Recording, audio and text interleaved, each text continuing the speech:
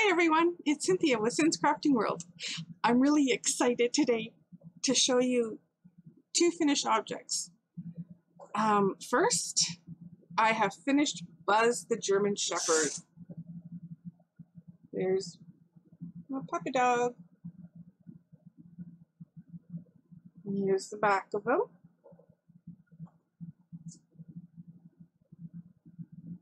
And the paws.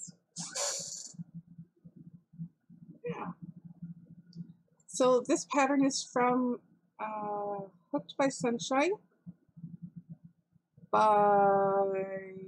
oh my goodness, I'm going to have to put Jessie Van In.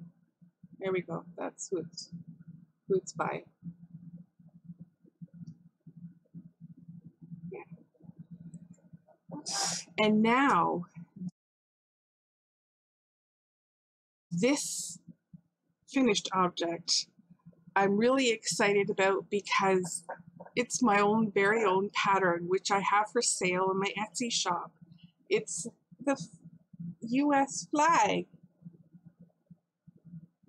Now it has 13 stripes and it has 50 stars. So there you have it. I will put a link to my Etsy shop below um, where you can purchase the flag. I have it $5 Canadian.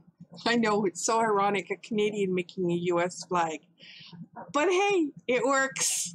all right, that's all for now. Have a great weekend. Bye, everyone.